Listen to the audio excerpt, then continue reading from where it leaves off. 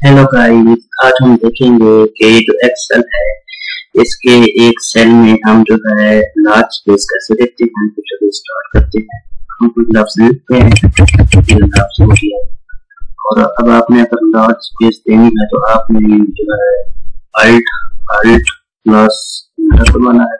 alt दबाया रखना है और फिर फिर अल्ट तरीके से आप ये जो है